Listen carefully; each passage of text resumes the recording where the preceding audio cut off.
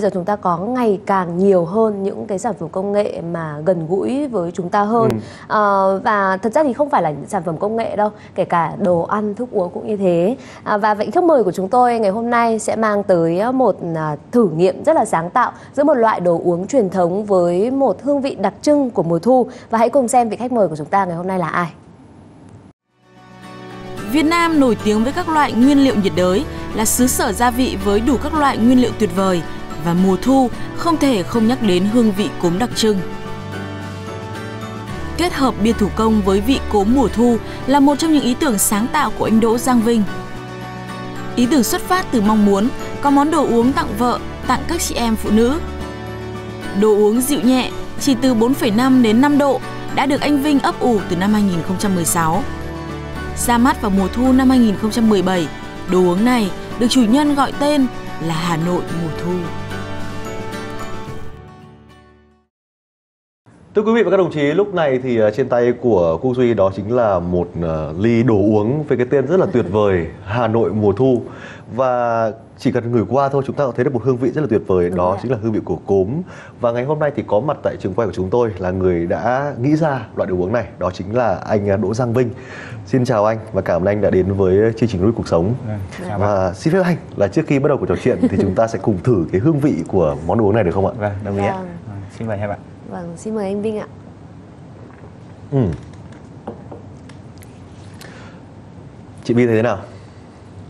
Cảm nhận đầu tiên thì đúng là Hà Nội mùa thu và uh, trong miệng Vi đang là cả một um, gọi là cái mùi hương rất là tuyệt vời của cốm, rất là rõ, rất là thơm và dễ chịu anh ạ. Vâng và đặc biệt là với những cái ly bia thế này Dạ. uh, phù hợp trong một mùa hè uh, nóng nực cũng Đúng. như là cái hương vị cốm thì đem lại cho chúng ta cảm giác của Hà Nội mùa thu và tôi được biết rằng là anh Vinh thì đã nghĩ ra món bia này vào khoảng hai mùa thu rồi đúng không anh? Tức là khoảng 2 năm rồi đúng không ạ? Đúng rồi, khoảng 2 năm rồi. À, bia này thì là xuất phát ý tưởng bia này là từ mùa thu năm 2016 nhưng mà chính thức mà bán ra thị trường à, giới thiệu với khách hàng là mùa thu năm 2017.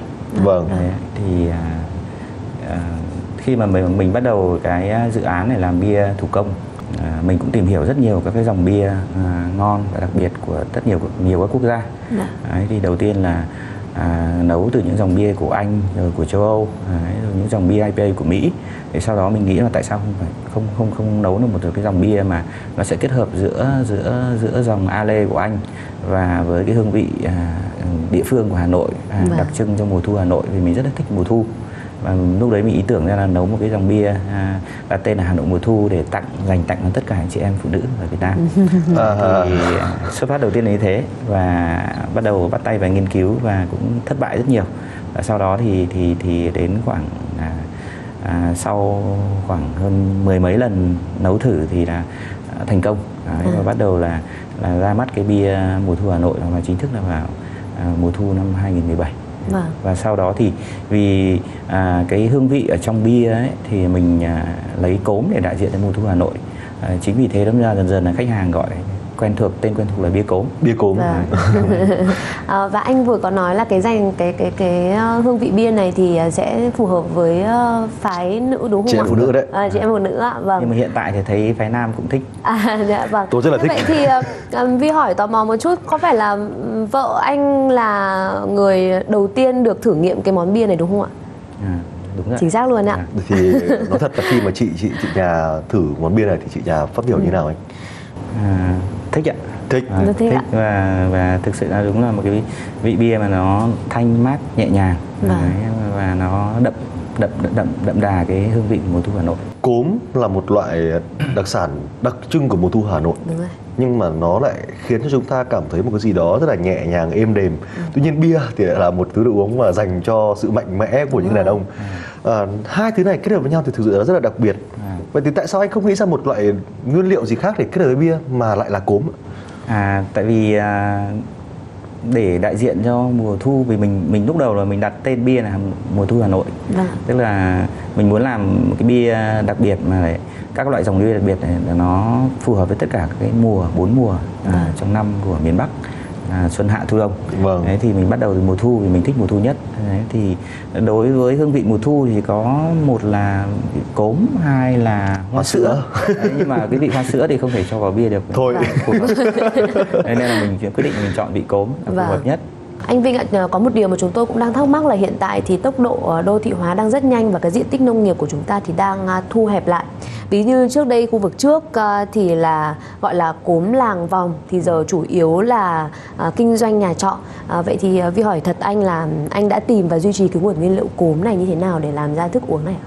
thực ra là ở ngoại thành Hà Nội thì vẫn rất nhiều những nhà làm cốm à, cốm tươi Dạ. thì mình đặt hàng họ và cứ đến mùa cốm thì họ cung cấp cốm cho mình Đấy, thì thực ra là trong cái bia này ấy, thì à, mình chia sẻ là nguyên liệu chính của nó thì đương nhiên bia thì vẫn phải làm từ lúa mạch rồi Vâng. Đấy, thì mình dùng lúa đại mạch à, nhập từ tiệp Đấy, và cốm Đấy, nhưng mà ri- riêng vị cốm không thì nó cũng chưa nó khi qua quá trình à, nấu bia à, với lên men ấy thì nó Vâng. cũng cũng chưa toát được cái vị đậm đà của cái vị cốm nếp Dạ. đấy thì mình có cho thêm à, một số nguyên liệu khác như là gạo tám và, và À. cái lá nếp Vâng. đấy nó sẽ dậy thêm cái mùi thơm hương hơn. thơm của Dạ. của của của nếp Tôi được biết thì anh cũng đã kết hợp được ờ, rất nhiều các loại ờ, gọi là đặc sản khác để tạo ra những loại đồ uống ví dụ như là từ bưởi, mít hay là xoài đúng không À, ạ? đúng rồi và đặc biệt là mùa hè thì à, bên mình có cái bia hoa bưởi Wow. À, đúng mùa hoa bưởi thì bia đấy cũng chỉ bán được trong vòng vòng 3 tháng tức Ừ, là rất đúng mùa hoa bưởi thì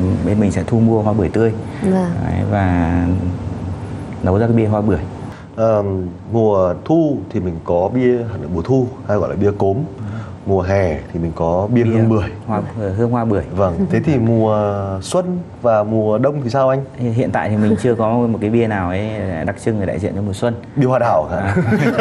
bia quất đúng không thì còn là mùa đông thì bên mình có cái bia à, gừng quế Gừng quế. Cho gừng quế vào uống nó hơi vị cay cay và ấm nóng Ấm Vâng. à, để Dạ. à, phù hợp với mùa đông Ngoài những cái ờ, loại quả đó thì không biết là trong tương lai anh có ấp ủ cái dự định là sẽ kết hợp bia với một cái loại quả nào khác không ạ? Anh có thể chia sẻ với chúng tôi không? À, cũng cũng đang nghiên cứu thì à, thực ra là bên nhà mình thì à, bên bên bên mình thì có những bia hoa quả khác dành cho phụ nữ ví dụ như là bia dâu bia dâu tằm Vâng. à, bia dứa bia mít Vâng. Đấy, và cũng đang nghiên cứu thêm à, bia dùng hương sen Wow. dùng cái Dùng hoa sen. mua hoa sen thì mình sẽ sẽ sử dụng hoa sen Tức là một loại bia thực sự là nếu mà làm được thì nó là đặc trưng của Việt Nam luôn Tuyệt đúng không? Tại vì hoa sen là một loại hoa gọi là quốc hoa của Dạ. Việt Nam chúng ta Ờ, rất là tuyệt vời. Nhưng mà ờ, thường thường để mà nghĩ ra một cái loại đồ uống mới, một loại bia mới như vậy thì nó là do cảm hứng tự nhiên của mình anh hay Đúng là rồi, do cảm mình hứng tự ngồi nhiên. mình suy nghĩ ra mục đích gì đấy?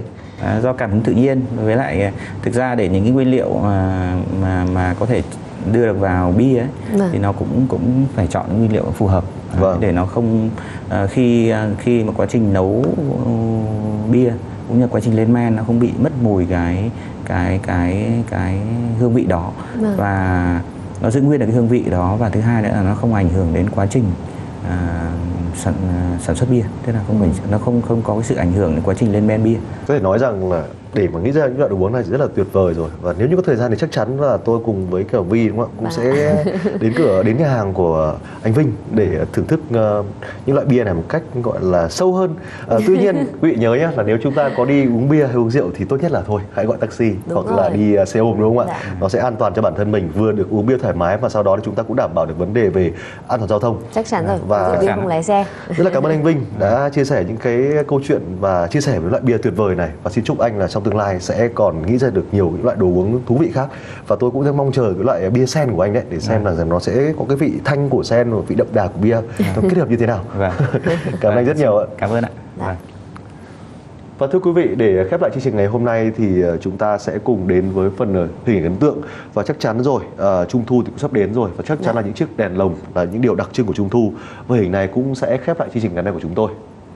Cảm ơn quý vị và các đồng chí đã quan tâm theo dõi. Kính chào tạm biệt và hẹn gặp lại.